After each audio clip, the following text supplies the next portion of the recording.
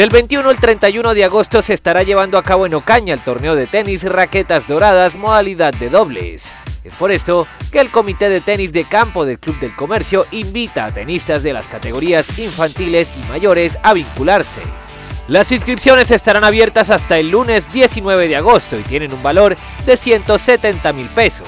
Los mecanismos de pago son los siguientes, en efectivo con la administración del Club del Comercio o por medio de transferencia bancaria a la cuenta Bancolombia ahorros en número 318 0000 4012 NIT 8905 507.